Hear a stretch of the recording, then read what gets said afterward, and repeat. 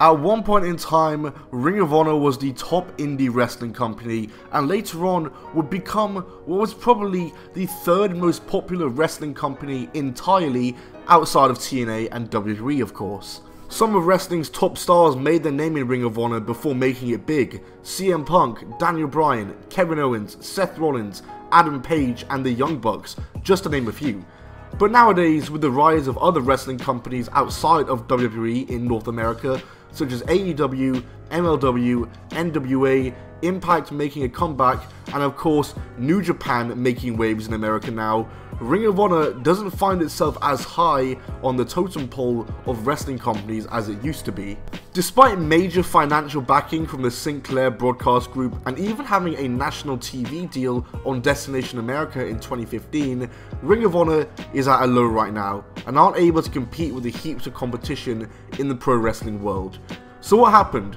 My name is Tom Talkton Wrestling and today we're going to be looking at the rise and fall of Ring of Honor. Before we do get into it though, be sure to subscribe with notifications on. According to my analytics, the majority of you guys watching these videos aren't subscribed, so go ahead and subscribe and help me out as I'm trying to hit 200k. But let's get right into this video, shall we?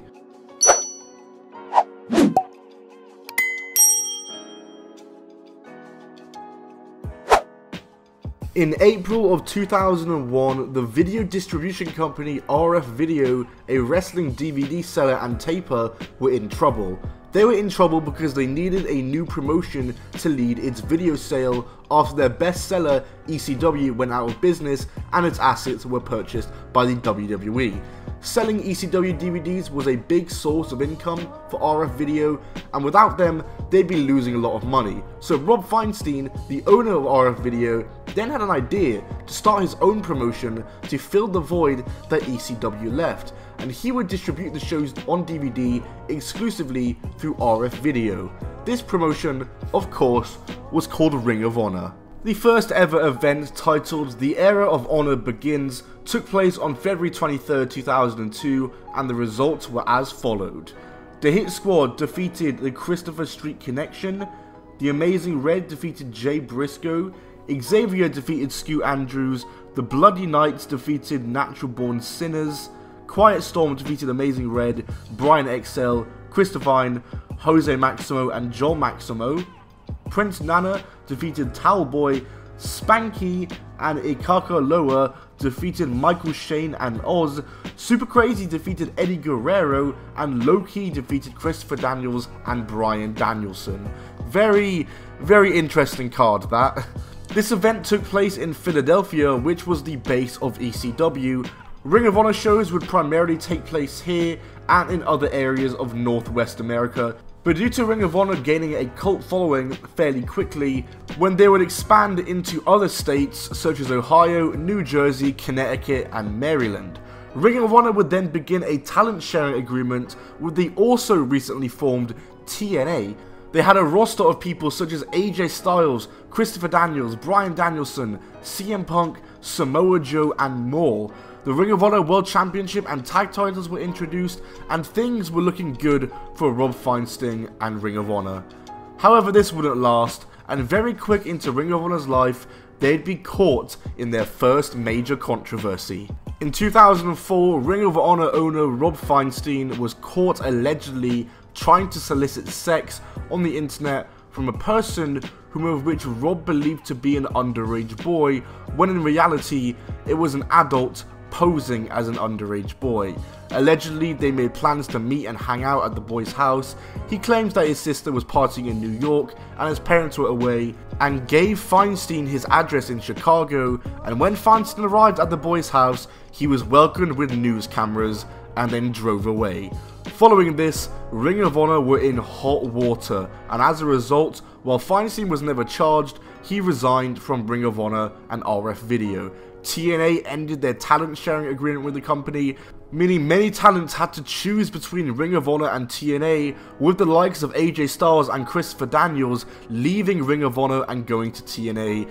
And in general, Ring of Honor's future was in doubt. It seemed like the company was about to die an even quicker death than ECW. However, like TNA in 2017, they managed to pull through. Doug Gentry bought Feinstein's stake in Ring of Honor and then sold it to Cary Silkin.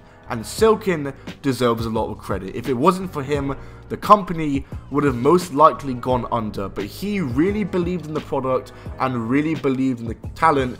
And not only did he stop the company from dying, but he also helped put it on the map further. Within the next year, TNA once again allowed talents to work back for Ring of Honor, meaning AJ and Daniels would come back. But while many talent was gone from Ring of Honor, the talent that stayed with Ring of Honor managed to hold down the fort really well. Samoa Joe and Austin Aries had legendary world title runs, and CM Punk and Samoa Joe had their amazing feud, which saw Ring of Honor get their first ever 5 star match from Dave Meltzer when they wrestled to a 60 minute draw for the world title at an event called Joe vs Punk 2. Their feud was so good they had an event named after it.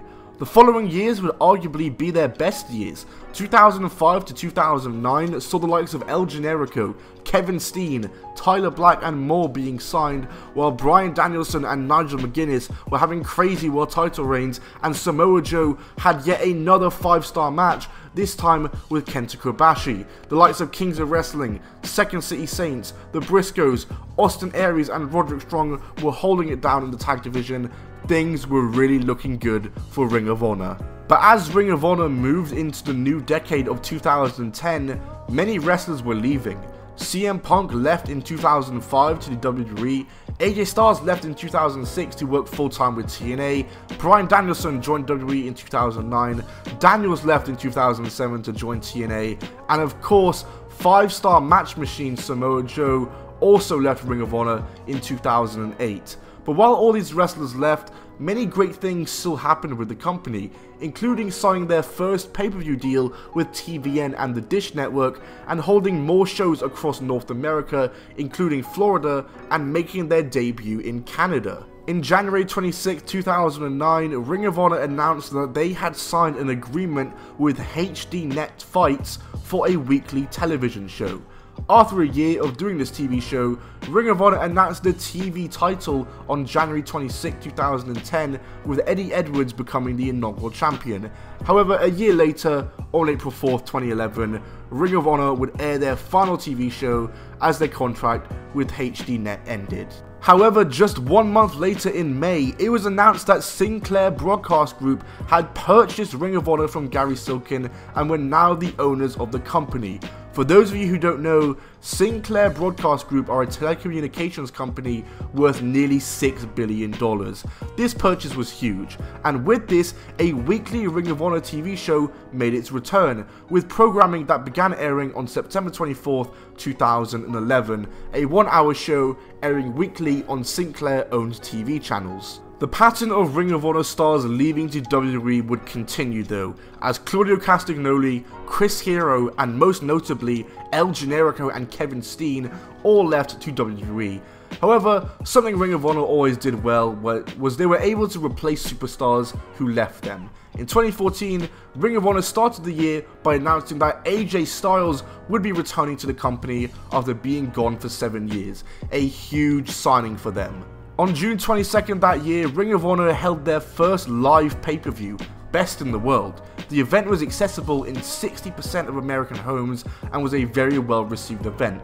And the next couple of years were huge Ring of Honor. They made action figures, they went to the UK for the first time, they introduced a trios belt, they got a TV deal on Destination America, they created a streaming service similar to the WWE Network, and in general were making waves in wrestling with the Bullet Club. The Bullet Club in 2014 to 2018 were huge. They mainly wrestled in New Japan, but Ring of Honor had an alliance with New Japan, which allowed the Bullet Club to appear in both companies, and this was very beneficial to Ring of Honor because let's face it, we all remember those Bullet Club shirts from that era of wrestling everyone was wearing one. In 2014 to 2016, AJ Styles was the leader of the group, but he was signed to WWE and out of Ring of Honor, and this pattern would continue again from 2014 to 2017.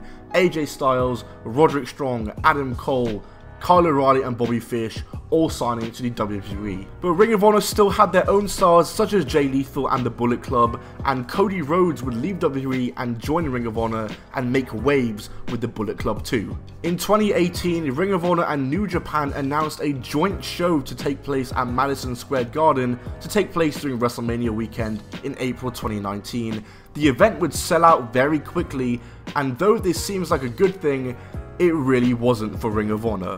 Also that year, Cody and the Young Bucks promoted and organized All In, a wrestling event produced in collaboration with Ring of Honor that featured numerous Ring of Honor roster members and drew 11,000 fans. Once again, this was a good thing, but also a bad thing because this was the beginning of when Cody and the Young Bucks minds would start drifting elsewhere away from Ring of Honor. And that's exactly what would happen because in January of 2019, All Elite Wrestling was announced, and among the members of the roster were many of Ring of Honor's top talent Cody, the Young Bucks, Hangman Page, SCU, and more. This would be the beginning of a downward spiral for Ring of Honor, and that spiral would continue further when the MSG event happened. The Madison Square Garden event came around, and as a whole, the event was good, good wrestling, but mainly on the New Japan side of things. While the Ring of Honor matches were good, this event really helped to just encapsulate how much star power Ring of Honor had lost. Matt Taven winning the world title was a big sign of that. And don't get me wrong, Matt Taven is a good wrestler, but it's a big drop off from the likes of CM Punk, Samoa Joe, AJ Styles, and all these other former Ring of Honor champions. And also, let's not forget that this show saw the debuts of Enzo Amore and Big Cass, who Ring of Honor debuted as fan run-ins, to the point where nobody knew whether them jumping the barricade was a shoot or not. They literally filmed it as if they were trying to avoid showing them but apparently it came out that this was planned by Ring of Honor, and Ring of Honor was so clowned on, so roasted, and were heavily criticised for wanting to sign Enzo and Cass in 2019, and because of it, didn't follow through with the signing, which is probably for the better. More incidents would take place with Ring of Honor that year, including Bully Ray bringing a fan backstage and shouting at him for the way he was treating the women's division. Apparently, he was shouting and spitting at the women's division. However, many people in the crowd said the fan did nothing wrong and he was just playing along with the face heel dynamic. And even so, Bully Ray brought a fan backstage to shout at him.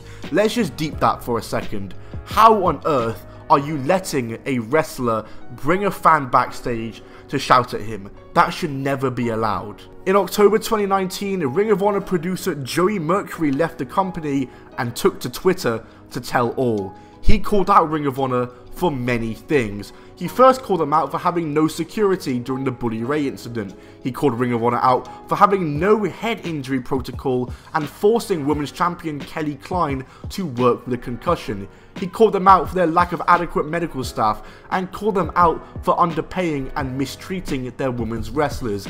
Kelly Klein would too speak up about these issues on Twitter, and supposedly this led to Ring of Honor not wanting to renew her contract and she was out the company. At this point, Ring of Honor was getting a really bad rep. Their average attendance was 1,100, and this sort of brings us to where we are now.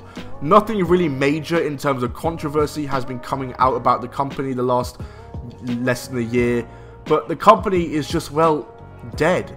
Not many people pay attention to it anymore or follow it, and it's understandable because the roster isn't that strong and there's already so much wrestling out there, a lot of which is much more appealing to watch than Ring of Honor.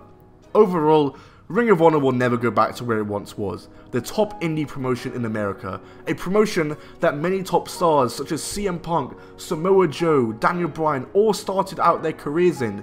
It will never be like that again, I just can't ever see that happening.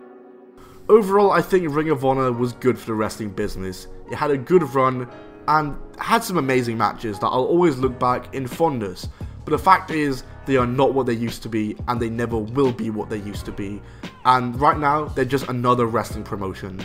But that's going to do it for this video, guys. If you did enjoy, then smack the like button. I know I had this video promised for so long. I don't know why it took so long. I just kept procrastinating the script, which ended up being really easy to write, so I'm so sorry about that. But either way, thanks for watching this video guys. If you did enjoy, smack the like button, subscribe notifications on because I'm trying to hit 200k subscribers. I'll see you all soon, goodbye, and keep on rolling.